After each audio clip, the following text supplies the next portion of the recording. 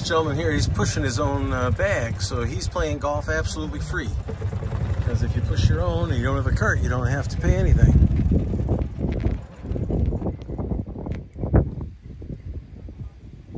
We'll see how this gentleman does here.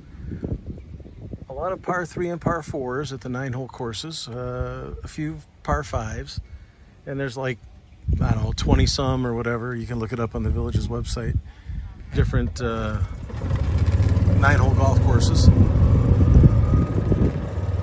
to go to. And uh, so they're all a little different. Everyone has their favorite one or their one that's right next to their house or whatever. But as you'll see, uh, this is Saturday. Uh, it's probably 12:30, and the temperature is probably something around high 60s right now. A little windy, and you'll see uh, there's people on the golf course, but you know definitely not what you would call crowded.